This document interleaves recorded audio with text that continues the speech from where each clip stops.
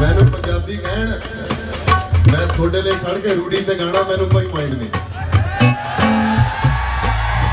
ਮੈਨੂੰ ਖੁਸ਼ੀ ਹੋਊਗੀ ਜਦ ਤੱਕ ਮੇਰਾ ਹਰੇਕ ਸਾਹ ਆ, ਉਦੋਂ ਤੱਕ ਤੁਹਾਡੇ ਲਈ ਗਾਣਾ। ਔਰ ਮੇਰੇ ਅੰਦਰ ਵੀ ਉਹੀ ਗਾਉਂਦੇ ਆ ਮਨਮੋਹਨ ਵਾਰਸ ਦੇ ਸਰਦਾਰ ਤੁਸੀਂ ਜਿਉਂਦੇ ਵਸਦੇ ਰਹੋ ਆ ਜਾ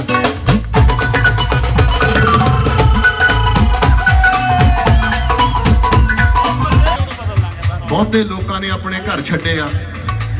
ਕਿਸੇ ਨੇ ਨੌਕਰੀ ਕੀਤੀ ਆ, ਪਰ ਹੈ ਇੰਡੀਆ 'ਚ, ਪੰਜਾਬ ਇਹ ਭਾਰਤ 'ਚ ਹੀ ਆ।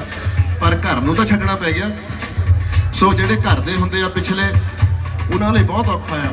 ਪਰ ਅਸੀਂ ਵੀ ਆਪਣਾ ਜੀਵਨ ਵਧੀਆ ਬਣਾਉਣਾ ਆ। ਉਹਨਾਂ ਦੀ ਯਾਦ ਦੇ ਵਿੱਚ ਹੀ ਆ ਕਾਮਾ ਗਾਟਾ ਮਾਰੂ। ਤੇ ਉੱਥੇ ਦੀ ਗਵਰਨਮੈਂਟ ਨੇ ਵੀ ਤੁਹਾਨੂੰ ਪਤਾ ਕੀ ਕੀਤਾ। ਕਿੰਨੇ ਔਖੇ ਹੋ ਕੇ ਮੁੜ ਕੇ ਆਏ। ਆਇਆਂ ਨਾਲ ਕੀ ਹੋਇਆ? ਸੋ ਅਸੀਂ ਆਪਣਾ ਜੀਵਨ ਵਧੀਆ ਕਰਨ ਲਈ ਪੰਜਾਬੀ ਕਦੋਂ ਦੇ ਲੱਗੇ ਹੋਵਾਂ?